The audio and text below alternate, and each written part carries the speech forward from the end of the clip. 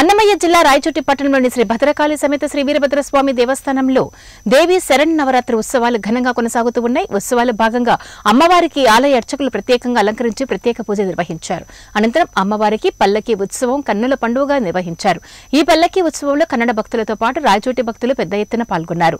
ఆలయ అర్చకులు భక్తులకు తీర్థ ప్రసాదాలను అందజేశారు. కార్యక్రమంలో ఆలయ చైర్మన్ పోలంరెడ్డి విజయ ఆలయ ఈవో తదితరులు పాల్గొన్నారు. ఓం నమో వీరభద్రాయ.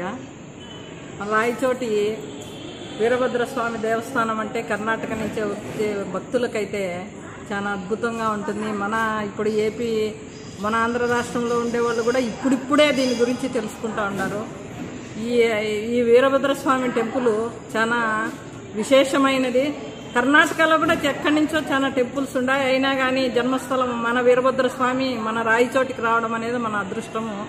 అందులో ఫస్ట్ అన్ జిల్లా కావడము అన్నమయ్య జిల్లాలో మేము ఫస్ట్ కమిటీలో చైర్మన్గా ఉండడం అనేది మా పూర్వజన సుకృతంగా భావిస్తూ మా సీఎం గారు అయితేనేమి మా ఎమ్మెల్యే గారు ఎంపీ గారి వాళ్ళ కృప వల్ల నాకు ఇంతటి అదృష్ట భాగ్యం కలిగినందుకు నేను వెయ్యి జన్మలకు వాళ్ళకు రుణపడి ఉంటూ మేము ఈ దేవాలయ అభివృద్ధికి మా సాయశక్తుల ప్రయత్నం చేస్తూ దినదినాభివృద్ధి చెందేటట్టుగా చేయాలని మేము సంకల్పిస్తూ అందులో భాగంగానే నిత్య అన్నదానం అనేది మాకు అనఫ్ అఫిషియల్గా టూ డేస్ ఉన్నాయి. అనఫిషియల్గా మేము అందరినీ దాతలను కావాల్సిన మా ఈఓ గారు అయితే ఏమి మా కమిటీ